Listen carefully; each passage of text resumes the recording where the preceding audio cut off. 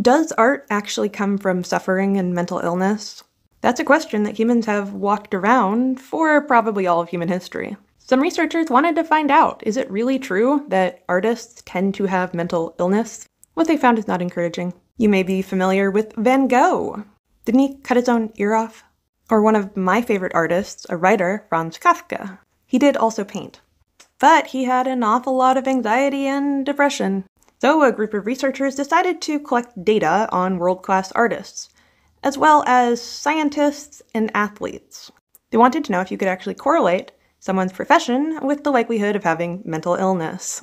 They'd postulated that having a high degree of mental unwellness would correlate with a lower amount of creativity.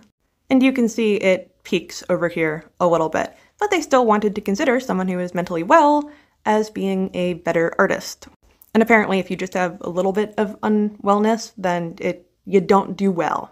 They found that around 60% of artists on record did have a mental health issue, mostly depression and anxiety. If they postulated people who are not formally diagnosed but could be seen as mentally ill based on their behavior, they ended up getting 83%. 83% of artists have something like depression. Interestingly, the least mental illness was found in the sciences 30% of people, which still to me sounds like that is higher than the general population. Athletes were also a little more likely to suffer.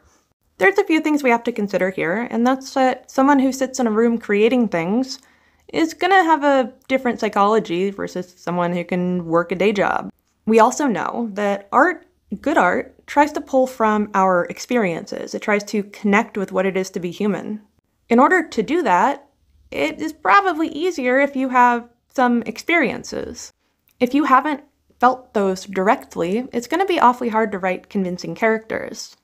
Ultimately, you would be operating from a place of cognitive empathy, the ability to understand what others are feeling. Look, I am not saying that you have to be unwell in order to create art. I'm saying that there is a very high correlation between having mental illness and being an impactful artist. A lot of that art, but not all of it, comes from a place of immense grief. Many of these artists actually did their best work when they were recovering from another incident. Being profoundly mentally ill does make it very hard to accomplish things, to do things. The suffering artist is a trope for a reason. Let's be real. If you want to create something that discusses profound human experiences, it's going to be hard to do that if you've never had those experiences. I think what we're really seeing here is people who have gone through an immense amount of hardships and then took that and turned it into something beautiful they could share with the world. And that's a better story than you need to be mentally ill to create art.